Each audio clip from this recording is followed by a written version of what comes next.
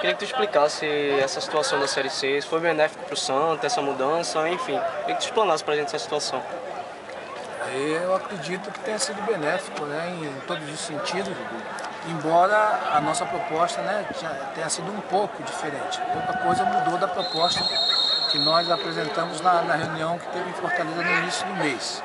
A proposta do Santa Cruz era os 10 clubes, né, como está formatado, as duas chaves de 10, e fazendo os 20, sistema de ida e volta, os dois primeiros colocados né, de cada chave já né, teriam acesso para a Série B. A CBF fez um pouco diferente da forma que nós colocamos. Dos 10, 4 se classificam né, de cada chave e aí sim tem um mata-mata para ver aqueles que vão conquistar o acesso. Mesmo assim, acredito que tenha sido viável né, em todos os sentidos. Por quê? Porque você tem um calendário até o final do ano. Tá? Então você tem como é, fazer um investimento até maior porque a CBF vai bancar as passagens e a hospedagem. Então isso torna-se muito mais atraente porque você não vai ter essas despesas. Enfim, acredito que Santa Cruz deu é, um passo muito grande nesse sentido de apresentar essa proposta, proposta que foi aceita por todos aqueles que perfazem né, a Série C.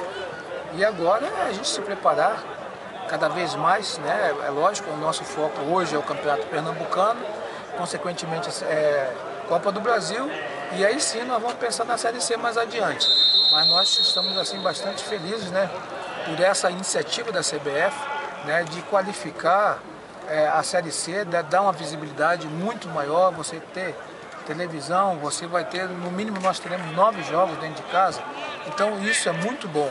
É lógico que nós queremos muito mais, nós queremos chegar até a final e é lógico o, o título da, da, da, Série C e o acesso para a Série B.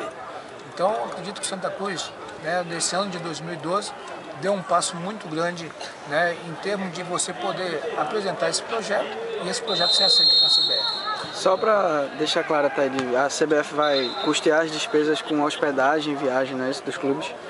Isso. E a arbitragem também?